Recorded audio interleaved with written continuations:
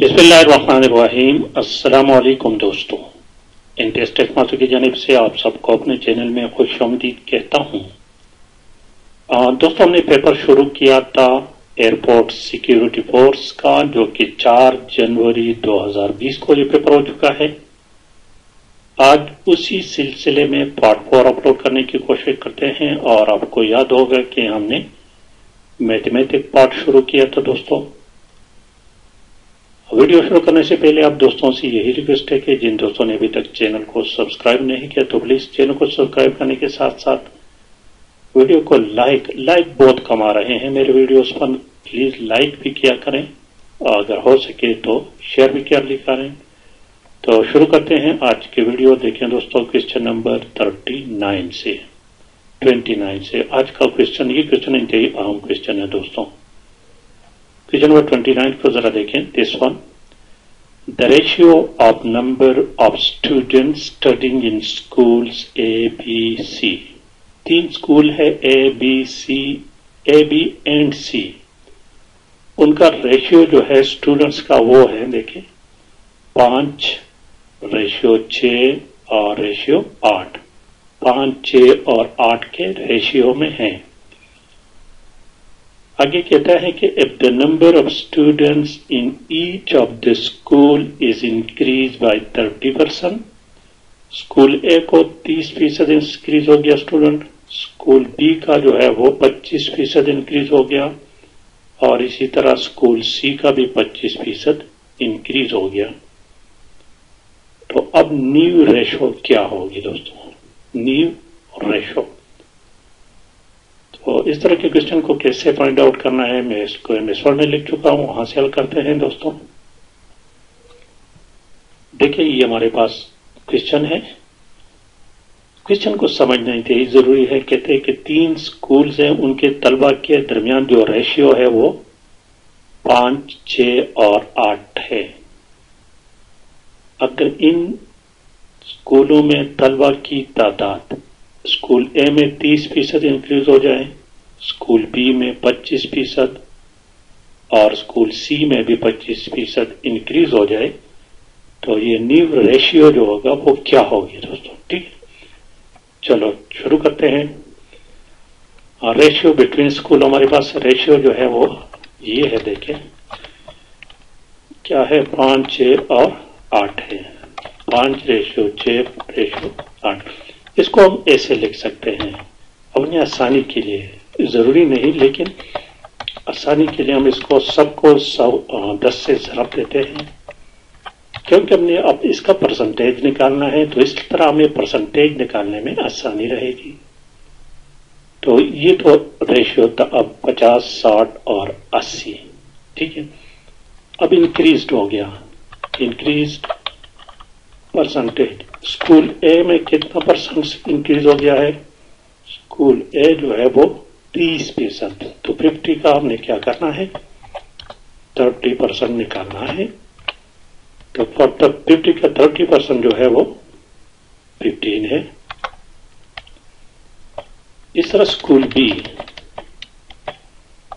School B जो है वो सिक्सटी स्टूडेंट्स है और ट्वेंटी फाइव परसेंट इंक्रीज हो गया है।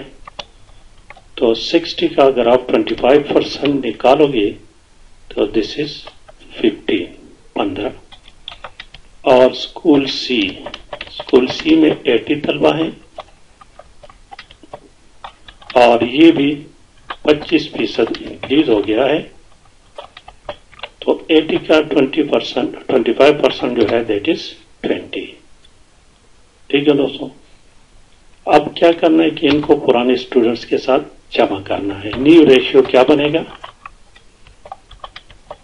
पुराना स्कूल ए में 50 स्टूडेंट थे और 15 इसके साथ और आ गए तो जमा 15 स्कूल बी में 60 स्टूडेंट थे 15 और आ गए इंक्रीज हो गए।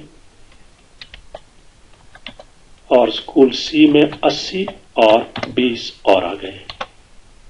अब इसको जमा करें तो ये 65 आ जाएगा। 75 और 100 अब इसको रिड्यूस करना है। देखिए, तमाम इनसे पाँच पर डिवाइड होते हैं। तो तेरह पंज पैंसठ, पंद्रह पंज पचहत्तर और बीस पंजे सौ। तो this is the new ratio तेरह, पंद्रह, बीस ऑप्शन ए पेपर में देखते हैं। ये देखिए ऑप्शन ए जो है ना this is a correct option okay अब देखिए क्वेश्चन नंबर थर्टी को, जरा देखिए तीस नंबर क्वेश्चन को। if a A B is equal to thirty six इसको जरा देखिए। Then which of the following is correct तो इसमें ऑप्शन ए करेक्ट है। ये तो इंतहाई इजी है, क्योंकि ये एक्सट्रीम दोनों ने जरा खाना है A B is equal to नौ जरबे चार। तो चार में छत्तीस। तो ऑप्शन है, इसमें करेक्ट ऑप्शन है। क्वेश्चन नंबर थर्टी वन को जरा देखें। थर्टी वन नंबर क्वेश्चन कहते हैं कि in measuring the sides of a rectangle errors पाँच फ़ीसद एंड तीन फ़ीसद in excess are made the error percentage in the calculated area is इस क्वेश्चन को आप खुद हल करें और करेक्ट ऑप्शन इसमें ऑप्शन सी है आठ आशारिया एक पाँच फ़ीसद। क्वेश्चन नंबर थर्टी को जरा देखिए बत्तीस नंबर क्वेश्चन को देखिए दोस्तों। अब when a number is first increased by 10% and then reduced by 10%, the number is. Option A में लिखा हुआ है does not change option B में लिखा हुआ है डिक्रीज बाय वन परसेंट और ऑप्शन सी में लिखा हुआ है increase by one percent option D none तो देखिए इसको कैसे सॉल्व करते हैं। ये तो इनके ईजी है, इसमें तो कोई प्रॉब्लम ही नहीं है। ये क्वेश्चन मैं लिख चुका हूँ तो देखिए सपोज़ परस करें वो number let the number is hundred वो नंबर हमारे पास सौ है तो जब दस परसेंट इंक्रीज हो गया तो नंबर हमारे पास क्या बनेगा? सौ जमा दस इज़ इक्वल टू एक सौ दस। अब डिक्रीज टेन परसेंट डिक्रीज अब नंबर जो है ना, वो सौ नहीं है, वो एक सौ दस है।